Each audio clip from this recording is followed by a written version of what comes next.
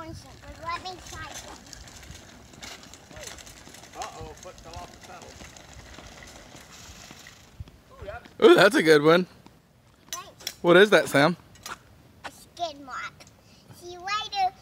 Come outside for more bike lessons. For more riding bike lessons. Bye.